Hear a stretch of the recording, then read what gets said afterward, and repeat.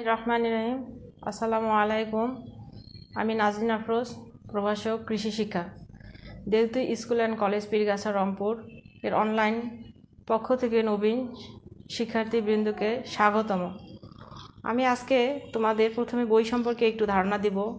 আমি যেই লেকচারের বইটা ফলো করি সেটা হচ্ছে প্রফেসর দেলার হোসেন হাওলাদার এবং প্রফেসর মোহাম্মদ হুমায়ুন কবির স্যারের বইটি তোমরা কিনবে বা ফলো করবে, এটাই আমি সবসময় পড়ে আসছি।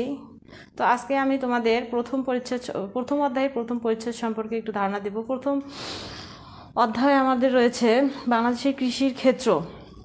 বাংলাদেশের কৃষির ক্ষেত্র আলোচনা করতে যে আমরা আজকে কৃষি সম্পর্কে একটু জানব।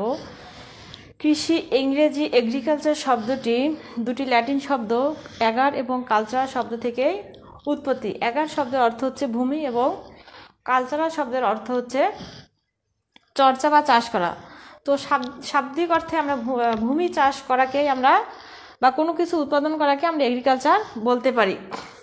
তো কৃষি শব্দটি আসলে একটি জৈবিক উৎপাদন প্রক্রিয়া। উদ্ভিদ হচ্ছে এ প্রক্রিয়ার ব্যবহৃত প্রাথমিক উপাদান এবং ও প্রাণী হলো দ্বিতীয় উপাদান। কাজেই আমরা বলতে পারি যে যে সকল উদ্ভিদ ও প্রাণীগোষ্ঠীকে অবলম্বন করে কৃষিকাজ পরিচালনা করে আর্থিকভাবে লাভবান হওয়া যায়, তাদেরকে আমরা কৃষির ক্ষেত্র বলি। কৃষির ক্ষেত্রগুলোর মধ্যে হচ্ছে মাঠ ফসল, উদ্যান ফসল, মৎস্য, গবাদি পশু, পোলট্রি এবং সামাজিক বনায়ন। তো আমরা জানি যে কৃষি বাংলাদেশের অর্থনীতির এক বিশাল ক্ষেত্র দখল করে আছে। আমরা, আমাদের মৌলিক চাহিদার পাঁচটি প্রত্যক্ষ এবং পরোক্ষভাবে কৃষির সাথে নির্ভরশীল। তো আমরা বলতে পারি এই, দুই হাজার আঠারো এবং উনিশ অর্থ বছরে জিডিপিতে কৃষি, কৃষিতে কৃষিখাতের অবদান হচ্ছে তেরো দশমিক শূন্য সাত পার্সেন্ট। এরপর আমরা কৃষির ক্ষেত্র আলোচনা করব। কৃষির ক্ষেত্রের মধ্যে আছে ছয়টি। শুধু ফসল উৎপাদনই কৃষির ক্ষেত্র না ফসল মাঠ, এখানে আসছে মাঠ ফসল, উদ্যান ফসল, মৎস্য সম্পদ, পোলট্রি, গবাদি পশু এবং সামাজিক বন। এই ছয়টি হচ্ছে কৃষির ক্ষেত্র। এরপর সম্পর্কে আমরা জানব, মাঠ ফসল আমরা বলতে যেটা বুঝি যে যে সকল ফসল বিস্তীর্ণ মাঠে নিচু, মাঝারি নিচু জমিতে বেড়াবিহীন অবস্থায় তুলনামূলক কম পরিচর্যার মাধ্যমে উৎপাদন করা হয়, তাদেরকে আমরা মাঠ ফসল বলি। মাঠ ফসলের বৈশিষ্ট্য এখানে আসছে যে, সংজ্ঞার মধ্যে আসছে যে বিস্তীর্ণ মাঠে বেড়াবিহীন অবস্থায় চাষ করা হয় এবং বৃহৎ পরিসরে ব্যাপকভাবে চাষ করা হয়। মাঠ ফসলের ক্ষেত্রে পরিচর্যা কম লাগে এবং এ মাঠ ফসল হচ্ছে এক বর্ষজীবী এ ফসল উৎপাদনে ঝুঁকি বেশি এবং উৎপাদন খরচ বেশি। বইয়ে আরও অনেক, অনেকগুলো বৈশিষ্ট্য দেওয়া আছে, তোমরা এগুলো ভালো করে খেয়াল করবে। মাঠ ফসলের প্রকারভেদের মধ্যে আসছে যে, আমরা জানি যে মাঠ ফসলগুলো হচ্ছে যেহেতু বৃহৎ পরিসরে করা হয়, ব্যাপকভাবে করা হয়, তাহলে ধান, তারপর আসছে গম, ভুট্টা, এগুলো হচ্ছে দানা জাতীয় ফসল। এরপরও আরও অনেক মাঠ ফসলের এরপর যেটা আসছে, ডাল জাতীয় ফসল। ডাল জাতীয় ফসল হচ্ছে মুসুর, মুগ অরহর বিভিন্ন ধরনের ডাল জাতীয় ফসল মাঠ ফসল অন্তর্ভুক্ত। তারপর হচ্ছে আট জাতীয় ফসল। আট জাতীয় ফসলের মধ্যে আছে পাট, তুলা। এরপর হচ্ছে চিনি জাতীয় ফসল। চিনি জাতীয় ফসলের মধ্যে সুগার, বিট, আখ এগুলো মাঠ ফসল।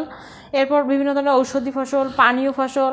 তারপর আরও আছে, দেখবা তোমরা যে সবুজ সার, নেশা জাতীয়, এই ধরনের বিভিন্ন ধরনের ফসল হচ্ছে এগুলো মাঠ ফসল। তো আমরা বলতে পারি যে আসলে আমাদের প্রধান প্রধান খাদ্য উৎপাদন এবং বিভিন্ন অর্থনীতিতে মাঠ ফসল ব্যাপক ভূমিকা পালন করবে, মাঠ ফসলই বিশেষ অবদান রাখে। এরপর আমরা যেটা, দ্বিতীয় যেটা ক্ষেত্র ছিল যে উদ্যান ফসল।